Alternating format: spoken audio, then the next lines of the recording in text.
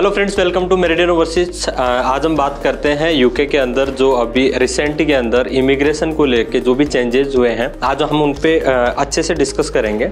जो सबसे पहला चेंज जो उन्होंने किया है, जो भी ओवरसीज वर्कर्स यूके के अंदर काम कर रहे हैं पहले जो उनका सैलरी कैप था, वो twenty six thousand two hundred था। अगर आपके पास twenty six thousand two hundred का पैकेज है स्पॉन्सरशिप मिल रही है तो आप यूके में एज ए वर्क वीज़ा आप जॉब कर सकते हो। अब उस सैलरी कैप को बढ़ा के इन्होंने thirty eight thousand seven hundred कर दिया है। सो ये काफ़ी बड़ा इम्पेक्ट बनेगा। इससे होगा क्या कि जो उनकी नेट इमिग्रेशन है, वो कहीं ना कहीं कम होगी। ओवरसीज वर्कर्स हैं, वो कम आ पाएँगे। जो भी स्किल्ड जो ज़्यादा एक्सपीरियंस्ड है, वो यूके के अंदर आ पाएँगे। इसके अंदर नोट करने वाली चीज़ ये है कि जो हेल्थ एंड केयर वर्कर जो भी आते हैं जो ऑलमोस्ट जितने भी ओवरसीज वर्कर हैं, उनमें 50 percent health and care worker visa पे यूके में आते हैं। वो इस लिस्ट से एग्जेम्प्टेड है। प्लस उसके अलावा जो नेशनल पे स्केल पे जो भी टीचर्स यूके के अंदर पढ़ा रहे हैं, जो काम कर रहे हैं वहाँ पे, वो भी इस लिस्ट से एग्जेम्प्टेड है।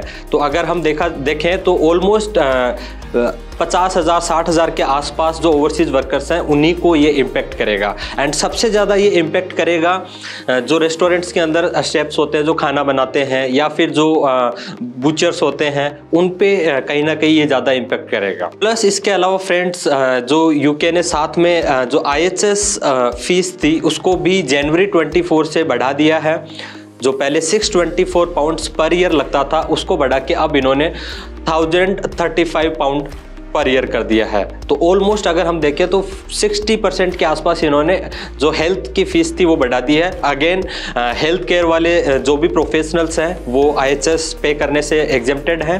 प्लस उसके अलावा स्टडी वीज़ा पे जो स्टूडेंट्स जाते हैं या फिर जो अंडर एटीन स्टूडेंट्स होते हैं, उनको भी रिड्यूस्ड फ़ीस पे करनी पड़ेगी एज कंपेयर टू जो नॉर्मल उन्होंने हाई किया वन पाउंड के। उसके अलावा फ्रेंड्स जो यूके के अंदर शॉर्टेज ऑक्यूपेशन लिस्ट के अंदर जो भी वर्कर्स काम कर रहे थे। उसके अलावा फ्रेंड्स जो यूके ने 20 परसेंट का डिस्काउंट दिया हुआ था मिनिमम सैलरी थ्रेश के अंदर। स्किल्ड लेबर को जो शॉर्टेज ऑक्यूपेशन लिस्ट के अंदर आते हैं उनको भी स्क्रैप कर दिया है। अब उनको भी मिनिमम 38,700 पाउंड की जॉब सिक्योर करनी होगी एंड उसके बाद में ही वो वर्क वीज़ा पे जा सकते हैं। सो so फ्रेंड्स हमने काफ़ी डिटेल में डिस्कस किया है जो यूके यूके में अभी रिसेंट चेंजेस हुए हैं इमिग्रेशन को लेके नेट माइग्रेशन को कम करने के लिए लेके।